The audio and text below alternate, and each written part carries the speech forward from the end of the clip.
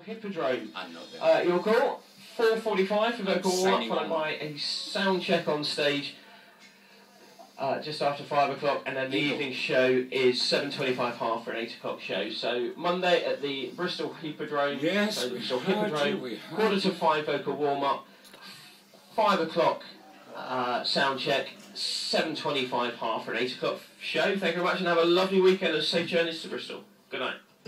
Hi, I'm Jerry Kelly. I've just pl- finished playing the narrator in both Edinburgh and Aberdeen, working with some of the most egotistical, selfish actors it's ever been my misfortune to come across. However, on stage, they're actually rather good. So, unlike me, you don't have to meet them in person, but do come along to Rocky Horror Show, and I'm sure you'll have a fantastic time.